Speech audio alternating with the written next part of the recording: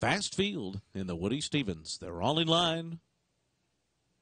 They're off in the Woody Stephens. And Seymourdini and Justin Squared go out to show some early speed. Imperial Hint is up and on the pace too with Fish Trap Road. And then comes Dig Deep and Sharp Azteca who's down toward the rail. Mrazek is next to the far outside. Break of three back to Star Hill, then Tale of Saval. Another two lengths more back to Awesome Gent outside of Counterforce. Tom's Ready is last of them all, 21 and three was a flying opening quarter mile for Justin Squared, who leads them into the far turn. Fish Trap Road is a length behind, running in second position with a half mile to go. Then comes Imperial Hint on the outside. Sharp Azteca is fourth along the rail with two and a half lengths to make up.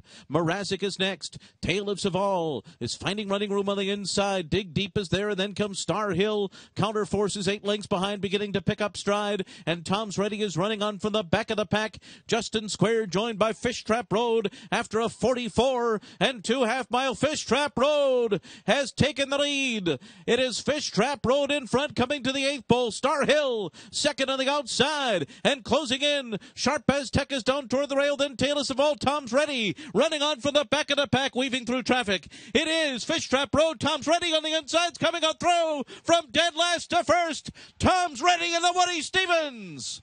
He beat Fish Trap Road, and Star Hill, and Sharp Azteca in a final time of 1 minute 21.38 seconds.